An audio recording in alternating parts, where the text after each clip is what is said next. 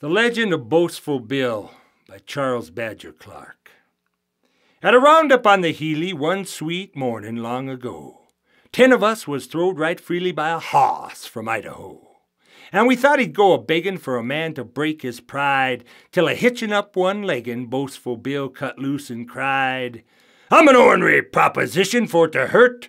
I'll fulfill my earthly mission with a quirt. I can ride the highest flivver from the Gulf to Powder River, and I'll break this thing as easy as I'd flirt.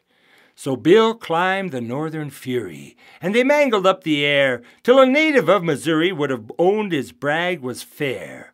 Though the plunges kept him reelin' and the wind had flapped his shirt, loud above that hoss's squealin', we could hear our friend assert, I'm the one to take such rakin's as a joke. Someone hand me up the makin's of a smoke. If you think my fame needs brightening, well, I'll, I'll rope a streak of lightning, and I'll cinch it up and spur it till it's broke. Then one caper of repulsion broke the hoss's back in two. Cinches snapped in the convulsion. Skyward man and saddle flew. Up they mounted, never laggin', while we watched him through our tears, and his last thin bit of braggin' came a droppin' to our ears. If you've ever watched my habits very close, you would know I've broke such rabbits by the gross. I have kept my talent hidin'. I'm too good for earthly ridin', and I'm off to bust the lightnin's. Adios. Years have gone since that ascension. Boastful Bill ain't never lit. We reckon he's a wrenchin' on some celestial outlaw's bit.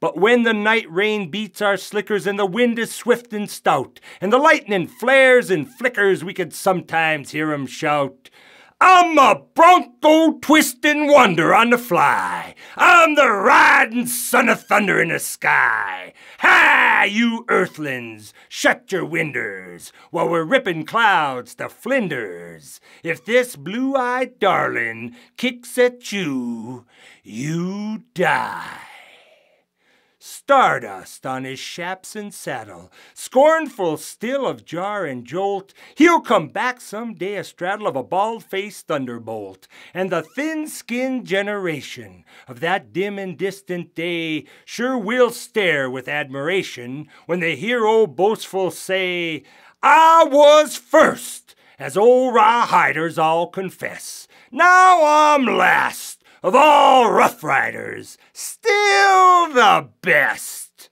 Ha!